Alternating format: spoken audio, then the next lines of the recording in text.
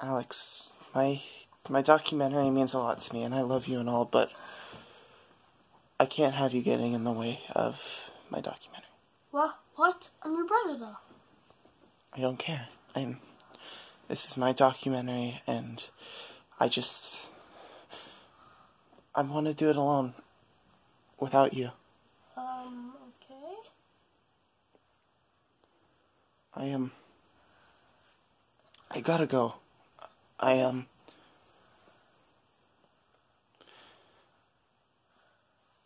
I.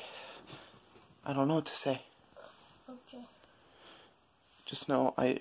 I love you, but I really can't be here right now. Why, though? Well, we're living here alone. I want to go out somewhere before I die, and I'm gonna record it. Okay.